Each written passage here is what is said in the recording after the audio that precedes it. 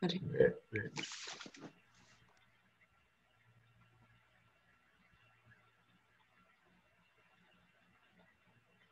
republic means the head of the government, that is the prime here president, is a country where the head of the state, that is the president or prime minister, is elected by the people, directly by the people or indirectly by the people, is known as republic. So it doesn't mean the countries are democratic, it will be a republic also, like Britain. Britain is a democratic country, but it is not a republic because the head of the state, that is queen, is not elected by the people, it is hereditary. Australia is a democratic country, but head of the state is the Queen of England. That's why it is not a republic. New Zealand, it is a democratic country, but because the head of the state of New Zealand is the Queen of England, and Queen of England is not, it is a hereditary post, not elected by the people. That's why New Zealand is also not a republic, but a democratic country. USA, the president is elected by the people. That's why the US is a democratic republic. And like our country president, although he's not directly elected by the people, but still the member of the Lok Sabha and Rajya Sabha elects him, and Legislative Assembly elects him, and the members of the Legislative Assembly and Lok Sabha and Rajya Sabha are elected by the people. So that's why the president is indirectly elected by the people. That's why India is also a republic. So the country who are head of the state, whether the prime minister or the president, is elected by the people directly or indirectly, that country is known as democratic. That country is known as republic. So if a country is democratic, doesn't mean that it is a republic also. And I have given the example of you, Britain and New Zealand and Australia. They are the democratic country, but not republic because their head of the state is not elected by the people directly or indirectly. It is a hereditary post because the queen is the head. So India established in 23 January 1950 in New Delhi, the day after India became a republic, because on 1950 we adopted the constitution, which made India a democratic republic country. It is the only court and situated in in Delhi. What is situated? Situated in Delhi. Now the present building in which the Supreme Court is there was made was in 1958. It came into the, here in 1958. First of before that it was in the Parliament, Parliament House. In 1958 it moved to the new building, present building. Now the High Courts. Come to the High Court. Highest court of the state. Were first established the, as you know, three presidencies were there. Cities of, what are the, anyone knows last time what we read? Three presidencies.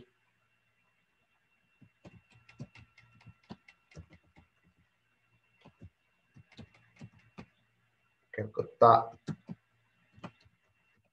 Bombay, and Madras.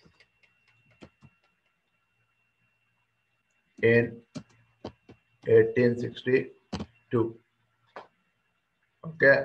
The High Court was first established in the three present cities of Calcutta, Bombay, and Madras in 1862.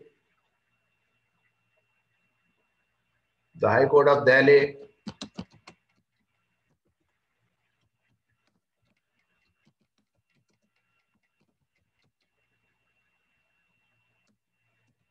came up in 1966. So the fourth one came in 1966. First three were in 1862. Then the High Court of Delhi came up in 1966. Currently, there are 21 High Courts.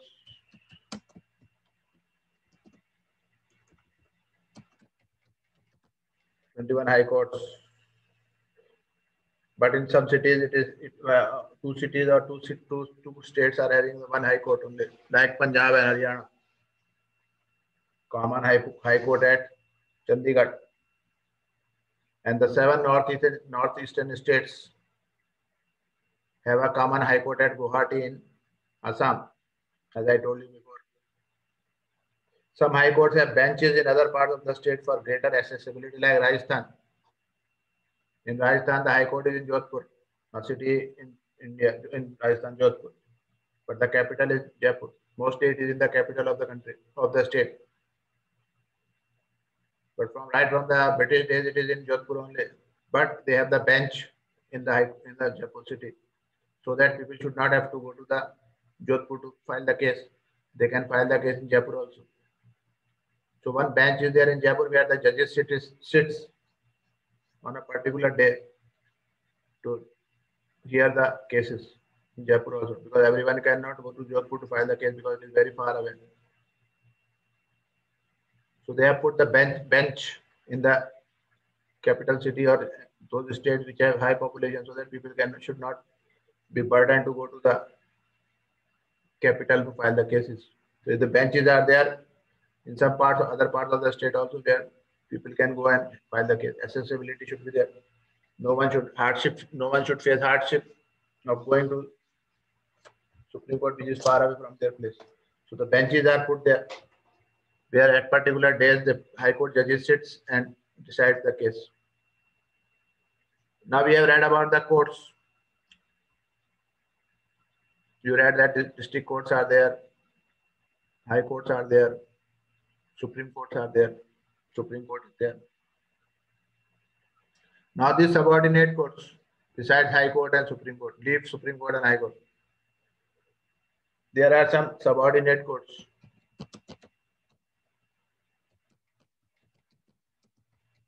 Which hear dif- different, different cases. Subordinate courts. They are known by different names in different parts of the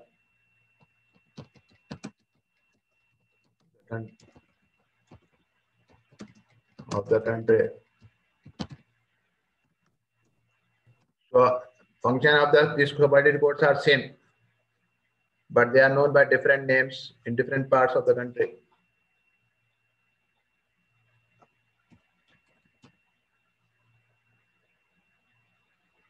different parts of the country. Now, what are they called? These include the trial court and the court of the district judge. The additional session judge in some places, chief judicial magistrate, CGM, metropolitan magistrate, civil judge. So they are known by the different names in different parts of the country or they are known by the different names. You can call they are known by the different name, whatever name you can say. But their function is same. Trial court or the court of the district judge, the additional session judge, chief judicial magistrate, metropolitan magistrate, civil judge. So they are known by the different names in different parts of the country. Now we come to the our next topic that is does everyone have access to the courts before that some questions to you Very good.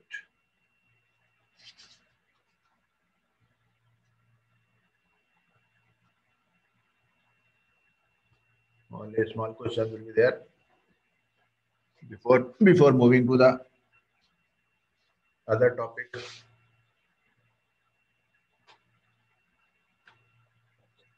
So now you have taken this, you have written this, everything, it is written in the book, no problem. You can go to the side of the books, of the, of the chapter, of the page. You'll find all these things there. So need, no need to put here. Okay. Given on page number 56, 58, 59. Yes. So you can take from there.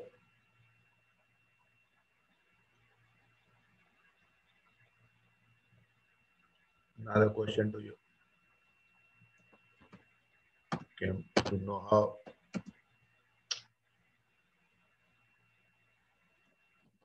first question will start when when was the SUPRE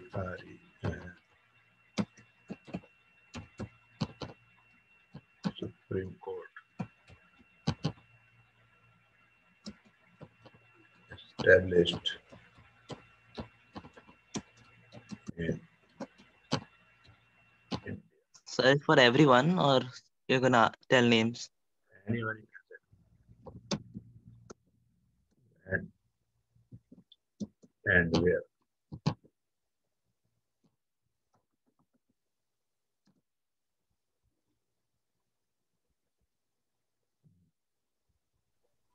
So the first Supreme Court, The When and where the- 1966 in When, Delhi. where, when, where, when and where was the Supreme Court established in India? 1966 in Delhi. 1966? In Delhi. Uh, No, sir, no, uh, 26 January 1950. 96, the day became the Republic, the day the India became Republic. It was established on so 26 January 1950, Indian very, became very good, 26 January New Delhi. 1950, the day India became republic. Because on 26 January only, we have accepted, we have adopted the constitution. So, Sir, in New Delhi. yeah, in New New Delhi. In the present building, it came in 1958. Before that, it was in, in the parliament only, parliament building only. Good. Second question. What you understand by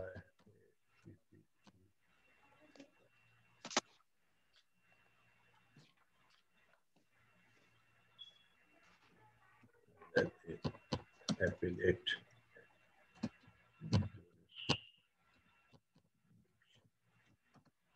What do you understand by appellate, jurisdiction? Sir, from uh, going from uh, district level court to high court, then to Supreme Court. If we did not get just, uh, we did not get get just, justice. Almost correct. But the correct definition is you right. A petition filed before a higher court or or to hear a case that has been already that has already been de- decided by the lower court. This means a person. Is there in the book? Yeah. That a person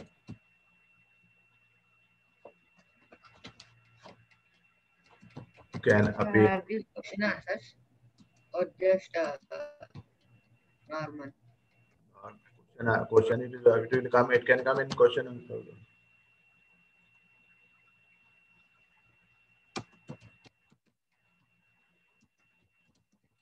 are right. Only almost.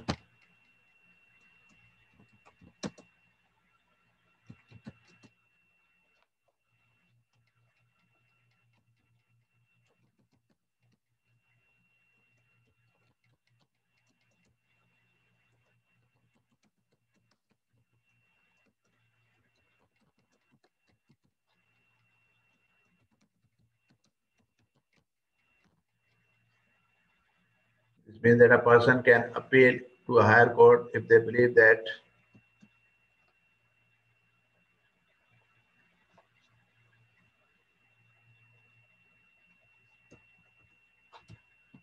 if, if they believe that the judgment passed by the lower court is not just. You are going to the court and you find that whatever judgment given is not in, in your favor, then you can go to the higher court. But the decision of the Supreme Court will be final. Once Supreme Court gave the judgment, it will be final. You cannot change it. No one can change it.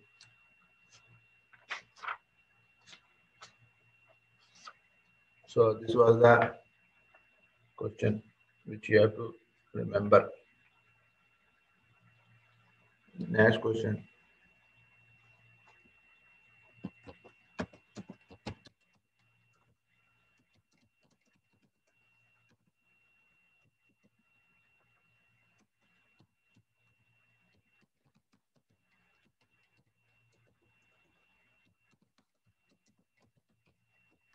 Which is the highest court in India? Sir, Supreme Court. Very good. Supreme. Very good. Supreme Court. Sir, I told first. Very good. Very good. I am saying a very good. Supreme Sir, Court. I told first. Then after Yeah. that, everybody. I know, I know. Which is the Which is the highest court in um, Sir, what you writing? Which is the highest? which is the highest court in the Sir, High Court. Sorry, District Court. District. which is the highest court in the state? Sir, District Court. No, highest court in the state. High Court. High High court. Court. High court. High court. High Court. Very good. Sir, I, told sir. Yeah, yeah, I know you told.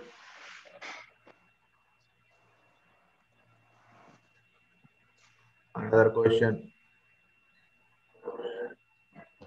Question number five.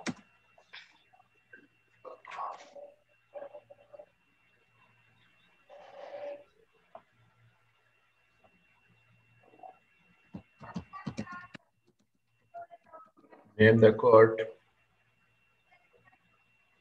Name the court. Where? Oh no.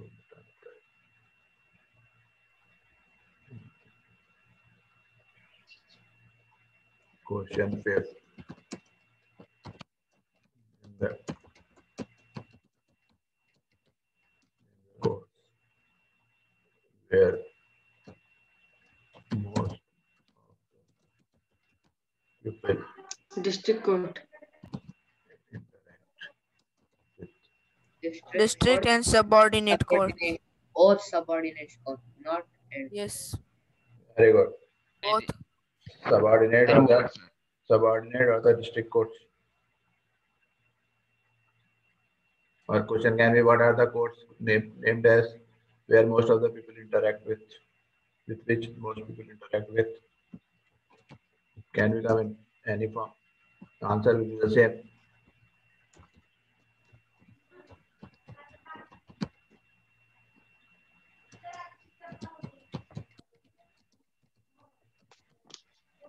Subordinate of the district courts.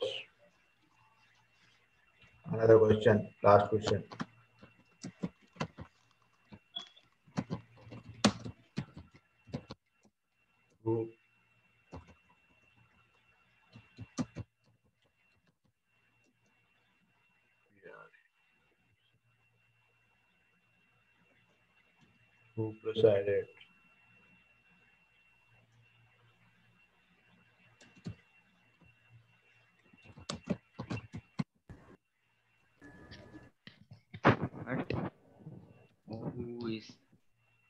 Presided over the why who presided over the Supreme Court?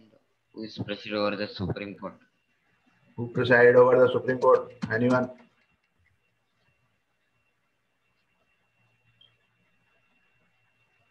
Sir, we don't know. Who presided over the Supreme Court? Sir, you say. Sir, wait. Um, sir, the Chief Justice of India. Very good.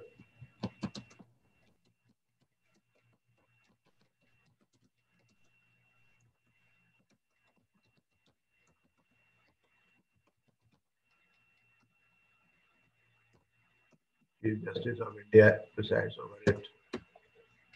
Now, one thing more, if president dies or resign,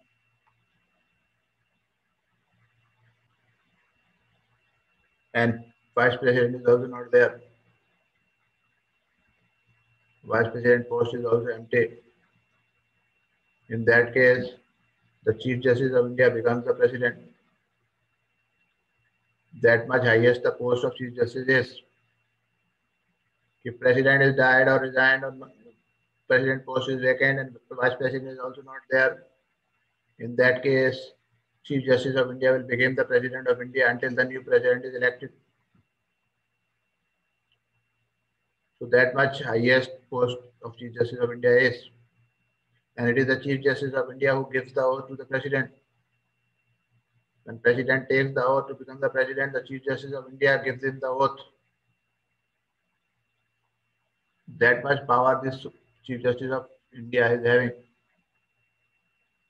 So after President and Vice President, Chief Justice of India is the another highest one. Prime Minister, Chief Justice is the highest officer.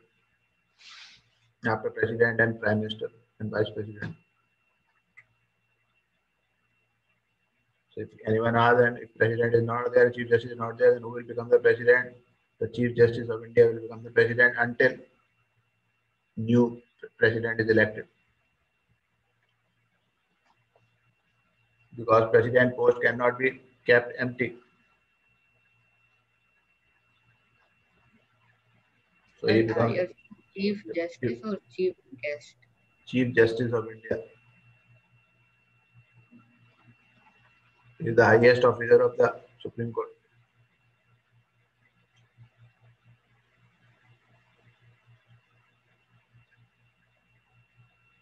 So that much power is having.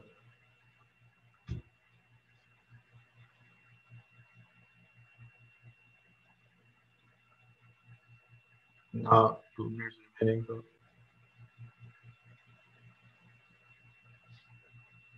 Anyone tell me the structure of the code?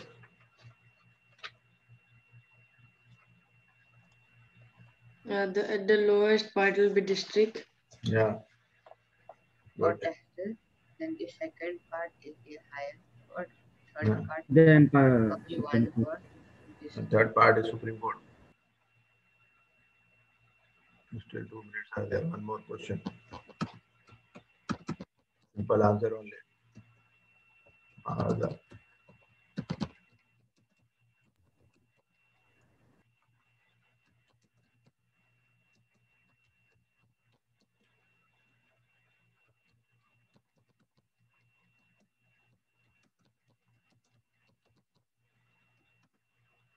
Are the Supreme Courts, are the different levels of courts connected to each other?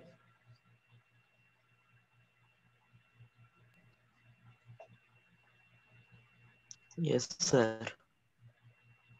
Yes. Yes, Yes. true. And So true. what? It is called.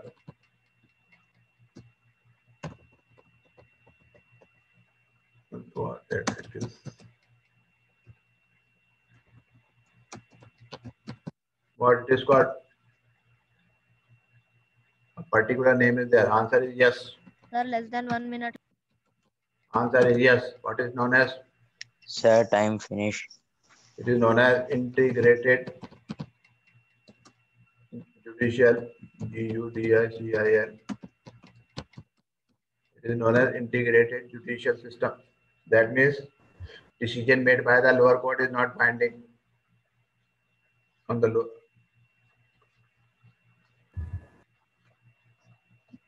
So decision by the higher courts are binding on the Sir, time finished. So we have integrated judicial system. If you are not satisfied with the lower court, you can go to the high court. And if high court gives the judgment, it will be accepted by the lower courts also. So that is not an integrated judicial system. They are integrated with each other. If lower court gives the judgment, you are not happy, you can go to the higher court. If you are not happy, that is Sir, one minute left. Your time finished. judicial system.